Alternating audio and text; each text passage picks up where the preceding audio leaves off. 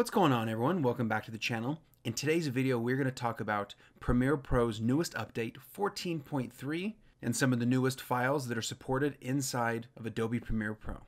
Now let's get started. Now if you enjoyed this video and you want to see more like it, please subscribe to the channel because I'm constantly creating new content. Premiere Pro just did an update to the software. They've updated to 14.3 and they've also updated a bunch of other apps too. So if you're part of the cloud subscription, check out the other apps because a lot of them been updated with great features.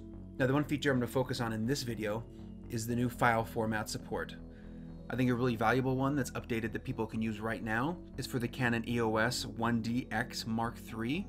That's a, it's an amazing camera that's out right now, but I do feel like cameras are changing and I think mirrorless cameras are the future. The one that I'm most excited for is the EOS R5 that's a camera that I think is going to change the game and I think it's going to become incredibly popular and I think a lot of people are going to switch to. And if not that, I think when the R6 comes out, I think that's going to be a little more affordable and I think that's going to hit the masses. So I think it's really important that they have this setup currently ready to go. So as soon as you get your camera, you're not going to have to deal with issues, compatibility issues, file format issues, and you can just start editing and just continue your workflow without a hitch. So I'm really excited about that.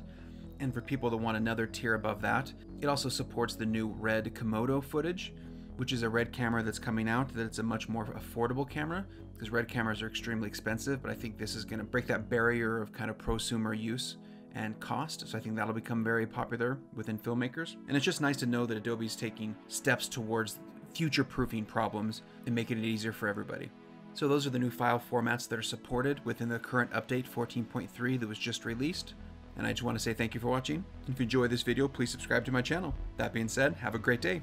Later.